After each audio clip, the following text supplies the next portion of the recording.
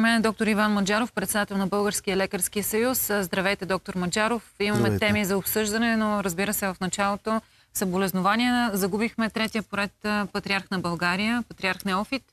А, може би с това да започнем няколко думи. В днешния тъжен ден, разбира се, е изключително трудно да говорим за всяко земно дело изглежда дребнаво на фона на днешния ден и а, сме длъжни да споменем а, това вечна памет на патриарха. Но ние трябва да продължим по някакъв начин. Трудно е. Аз пак казвам, че дори в очакванията, когато изчаквах извън студиото, се Да. чудих как точно ще започнем в този момент да говорим за неща, които са толкова далече изобщо от а, вселенските а, проблеми, за които един човек като него решаваше, докато беше между нас. Ще направя един плавен преход и връзка между днешния тъжен ден и, и, и всичко това, за което говорим периодично с вас. В случая, вие сте представител на едно съсловие. Патриарх Неофит говори за единството и че то се постига много трудно. И сякаш във всеки един разговор с вас, с политиците, част, то с злободневието, от което сме заобиколени, което обаче е ключово за нашия живот, за нашето здраве в темите, които разискваме с вас, пак търсим и говорим за единството, пресечната точка, диалога между властта, между съсловието лекарското, а, подписване на рамкови договори, национална здравноосигурителна каса. Да, Вървим ли в посока, в която диалогът да се случва по-лесно или всичко отново зависи до човека, до този, който стои отсреща?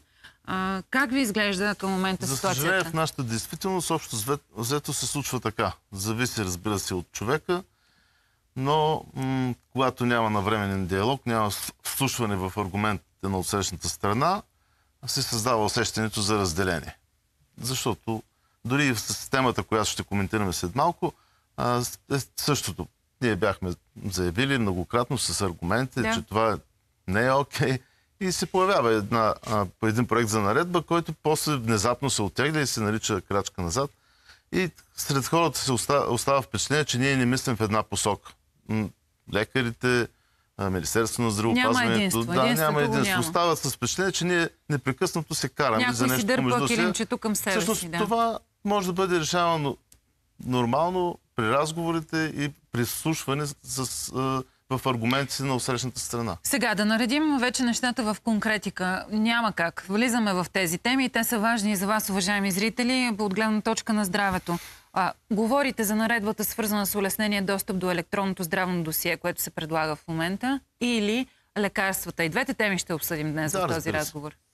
А, кажете ми за улеснение достъп до електронното здравно досие. Какво представлява това? Работи ли в момента? А, много говорихме в един момент за дигитализацията в здравеопазването, електронните рецепти, крачка напред, крачка назад, пак а, промени. В случая това електронно досие е достъпно За ли? да, за да стигна до, Да. до там, само ще още веднъж ще припомня. Ние от Българския лекарски съюз на, настоявахме и продължаваме да настояваме, че в процесите на здравеопазването, свързани с а, отчитане на дейността, на настъпващата дигитализация, изобщо инструментите, с които разполагаме, трябва да приложим а, двата механизма, които използват широко всички банкови, всички финансови институции. Това са два механизма различни. Единият е верификация на, на случката, т.е. наричаме го образно плащането. В здравеопазването това е когато някой се опита да заяви на касата, че от името на даден пациент е извършил нещо. Преглед, клинична пътека и така. Трябва пациента с съответният код да, а, да, го, да, да го получи и да го даде на лечебното заведение, в което, на мястото, където се случва и да бъде верифицирано. А другият момент е пациента да получи и нотификация, както получаваме от банките, че на, от а, наше име се е случило това. И изведнъж научаваме, че всичко това се свежда до улеснен достъп, който толкова е улеснен, че отново се изисква да има електронен подпис, но някой друг с личния си електронен подпис трябва да носи отговорността, трябва да е нотариуса пред ЕНЗИС, че дадения пациент е бил там на място и на неговия телефон е качен, качено досието. Това много сложно ми звучи. Ми Пак, да. даже даже не го разбирам. пак- Аз не го разбирам, признавам Пак се. е може с би... електронен подпис, само че чужд, не на човека. И сега на нас така ни обясняват. Ще бъде служител от Рези, ще бъде служител от РЗОК и защо не и личен лекар. Защо не личните лекари да бъдат момчета и момичета за всичко? Освен за диагностика и лечение и други административни грижи. Ами Аз бих попитал защо в тази държава, в която има много места, в които има електронни подписи, например в офисите на НАП, в общините, навсякъде, където има електронни подписи, би могло да се възложи това същото нещо и то няма да, да, да изпълни цялата си функция, защото ще бъде само една информативна програма за пациента, т.е. той ще се информира и не всички пациенти, защото не всички пациенти искат пък да имат такова приложение и не всички пациенти имат смартфони за приложения. Тоест, банките не са си решили проблема по този начин. Не са дали директен достъп непрекъснато да се наблюдаваш. Да, дали са, ако желаеш да си инсталираш приложение. Точно така. да. Но това не им е достатъчно. Те казват, не, не, ние искаме за сигурността си, за парите, които са ваши в нашата Да. банка, да потвърждавате всяко плащане с 3D парола и ние пък да ви информираме. Или допълнително Разбира приложение, се, което да. си инсталираш с парола, Тоест това да няма вкараш. нищо общо. Така че темата с... И това го бяхме казали още на 1 септември, когато си опитаха за първи път да го заговорят. След това, преди нова година, отново го обяснихме и бяхме разбрани от ръководството на касата. Между другото, господин Михайлов, след първият разговор, който проведахме по този начин, веднага разбра, че това е Не работещо не, не е окей. И за да завърша с тази тема, ще, ще направя разлика между служителя в Рези и РЗОК и личният лекар. При служителя в РЗОК или Рези или НАП, той има електронен подпис, но няма данните на пациента. Трябва да влезе някой и да заяви със своята лична карта. Това съм аз, желая да бъде сдвоен, да бъде сдвоен моят телефон. При личните лекари всички тези данни са налични. Тоест, нали се представяте, ние имаме един а, електронен подпис на личния лекар и той с него във всеки един момент има данните на пациента и когато попитахме информационно обслужване, имате ли сигурност на кой телефон аз ще кача досието и те ми казаха не.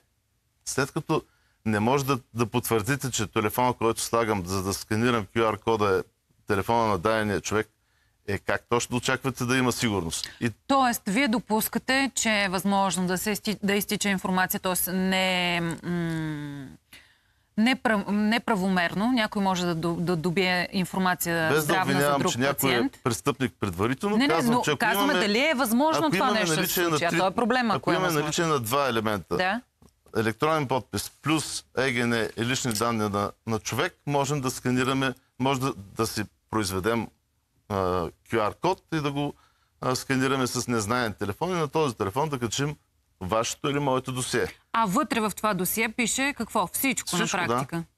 Заболявания, И след като хронични, си сваля информацията, мога да хвърля телефона в а, някой кош и да и не ми трябва повече. Ма Даже няма да има. знаете на кой е телефона. А, всъщност, вчера излезе МЗ с едно пространно обяснение колко е сигурно. Не е сигурно. Сигурността се възлага на човека, който има електронния подпис. И в случая вече не е пациента, е а, някой служител Сега, или личния лекар. Да упоменем нещо, което прочетох, между другото, на колеги, които са се задълбочили. А, цитирам дневник в случая. А, под 10% от гражданите разполагат с такъв електронен подпис. Това ми направи впечатление като данни. А, с предложенията се създава възможност всеки, който има смартфон или таблет, да влезе в електронното си досие чрез активиране на приложение и здраве. Раздвояването ще става чрез изтегляне на QR код, който се сканира в мобилното устройство. И тук вече вие а, така, споделяте вашите да сканира опасения. QR кода, в, да- в дадения компютър трябва да има нече електронен подпис, който да удостоверява кой точно е поискал QR кода. Омагиосен кръг. Тоест без електронен подпис Е, да. на практика няма Не- е, не как и да става. проработи електронното приложение. Какво предстои тогава? Тоест, прехвърляме отговорността от личната на, на гражданина върху някой. Така, И, казваме, и всеки един момент, когато съобщиш на гражданите, че всичките им лични лекари имат тази техническа възможност, а, във всеки един момент може да очакваме, че някой гражданин може да каже, аз пък имам съмнение, че моят личен лекар е а, злоупотребил с, моите, а, с моето досие.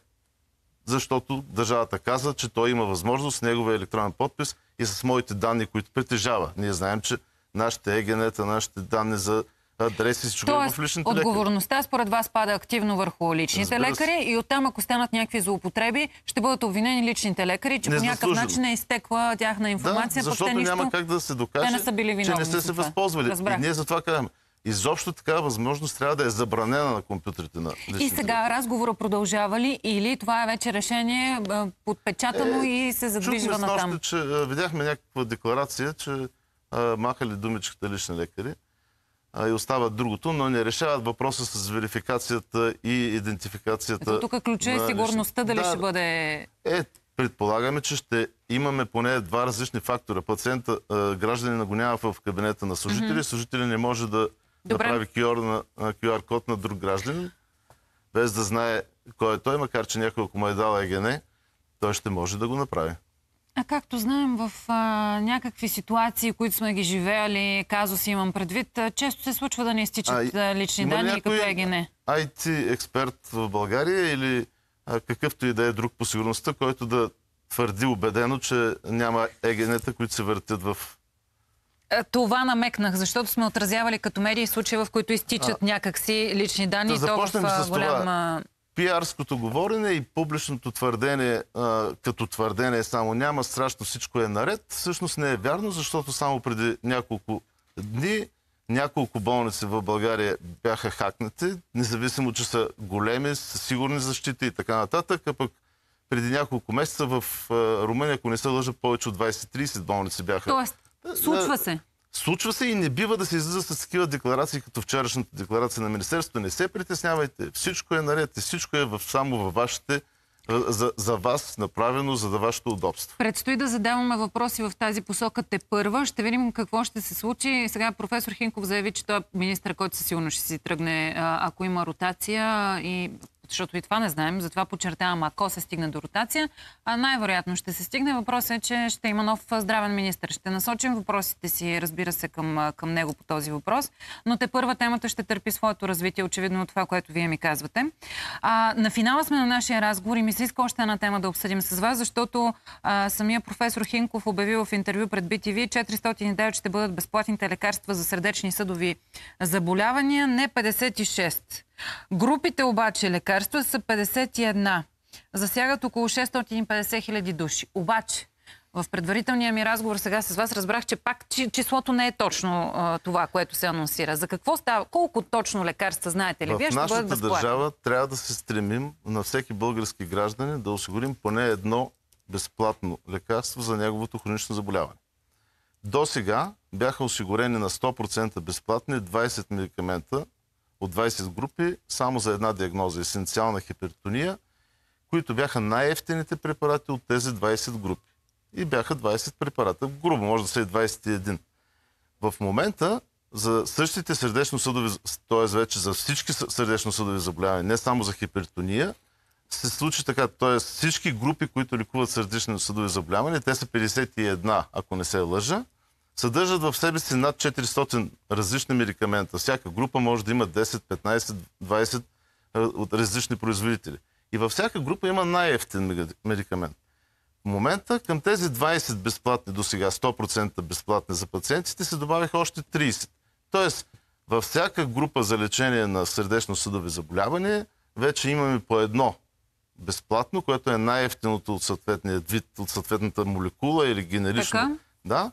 И не са 400. Всички, за всички останали нагоре се продължава доплащането. Тоест, А, числото какво е? Хайде да го 50 и няколко. 50 и няколко 50 и безплатни няколко. Това е важно за нашите Да. зрители. И сега, когато се И изписва това не е лошо, аз не обвинявам никой, но Да. пациентите трябва да знаят, че всички останали на пазара 400, 350 Ще се ще плащат. се, ще се доплащат. Има един да. друг въпрос, който ми а, хрумва сега, като ми говорите за това едно лекарство от група. Ще има ли достатъчно за всички, Сега, тук да е момента да възползват? кажем, че е редно софтуера за електронната рецепта, Да. защото е електронна е покаса, а, задължително след изписването на медикамент да вкарва в рецептата и най-ефтиния вариант, който е 100% безплатен. Тоест пациента трябва да е информиран с електронната си рецепта още, че има на, по-безплатно за това, което му, а, Което му безплатен трябва, да. еквивалент на това, което му е изписал лекаря. И от друга страна, аптеките трябва всички тези 50 медикамента безплатни, най-ефтини, да, да имат задължението да ги осигурят. Тоест никога не Да трябва да се... имат от- количество и никога да, да, никога не не трябва да се отказва на... безплатно. Да. Трябва да го има, за да има смисъл. Ох, и това ще видим но тук как е ще се момента да кажем, че тези ме- медикаменти са само монопрепарати. Вътре са по една молекула. Тези, които са комбинирани, те повечето пациенти вече предпочитат и лекарите и пациентите комбинирани в една таблета две молекули, те си остават с доплащане 55, 50%, защото при тях няма безплатно. Добре. А, последен въпрос. Връщам ви малко по-рано на нашия разговор. Искам само да уточним нещо, понеже като е, говорим за сигурността на данните ни и така нататък, примера, който дадохте с 20, нали 20 болници ми е, казахте. Еми, в, в, хакнати- поне в Румъния е нещо такова. Чух. А в България? България е по-малко. Нямам По-малко. пълната информация, Но защото колко това не се разказва. болниците? Но със сигурност има между 2-3 до 5 болници, за които научихме, че в последните месеци нещо бяха тотално сринати, блокирани софтуерните им системи с а, криптиране на данните им, с а, рекетиране за заплащане, за да бъдат отключени и така нататък. Теч на данни в случая Не, ли се по-скоро, по-скоро става въпрос за криптиране с оглед да изнудване за пари. Да. получават пари, за да си възстановят да. базата Но е данни. добре да си говори по тези теми с специалистите по а, н- н- сигурност, а, дигиталната сигурност. Между другото, ще продължим тази тема. Може още утре да я продължим с колегите.